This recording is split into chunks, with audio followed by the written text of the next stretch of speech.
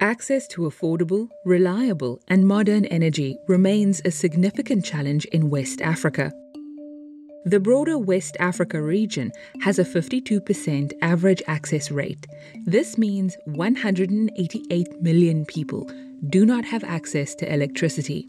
Most countries suffer from unreliable supply, with shortages of around 80 hours per month, and firms losing 5 to 10% of revenues as a result. In several countries in West Africa, electricity prices are above 25 US cents per kilowatt hour, which is more than twice the global average price of electricity. Many countries are too small to attract investments in large power projects or lack energy resources altogether. Instead, they rely on small scale, expensive oil fired power generation or emergency rental plants if they haven't planned for increased demand.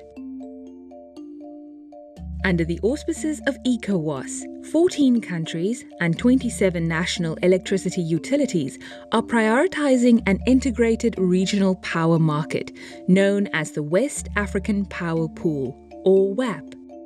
The WAPP promotes and develops power generation and transmission infrastructures as well as coordinates power trade among ECOWAS member states. WAPP is completing the physical interconnections that allow power to flow across borders, from countries with cheaper, cleaner, and more abundant energy resources to those that lack them, from countries with stronger investment climates to those facing fragility. Already, 6.3% of the region's electricity is traded among the 10 countries already connected. Three countries, Benin, Togo, and Niger, depend on imports for the majority of electricity they consume. By the early 2020s, the most critical cross border links will be in place, making it possible for electricity to flow all the way from Dakar in Senegal to Lagos in Nigeria. The World Bank estimates that power trade in West Africa could lead to cost savings of 5 to 8 billion US dollars per year by allowing expensive power in one country to be replaced by cheaper power imports from neighbors.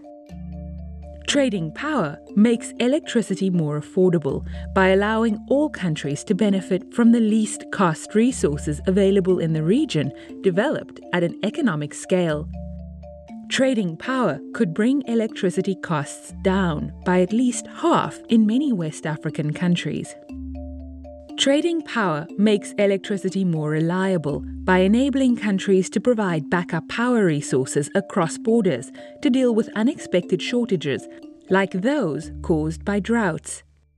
Trading power makes power generation more sustainable by displacing oil based generation with cleaner sources of electricity like natural gas, hydropower, and solar. Bigger markets attract private sector investment in power generation.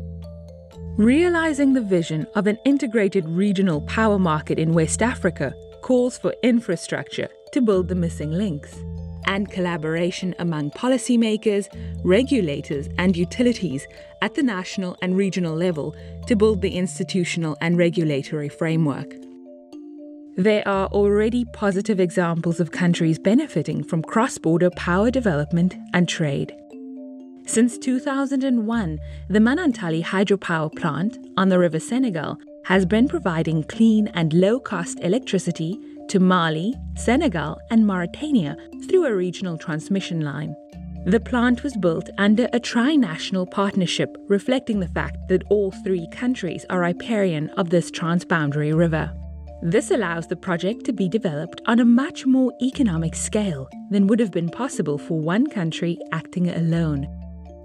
With the imminent completion of the regional power grid, the time has come for West Africa to start reaping the benefits of cheaper and more reliable electricity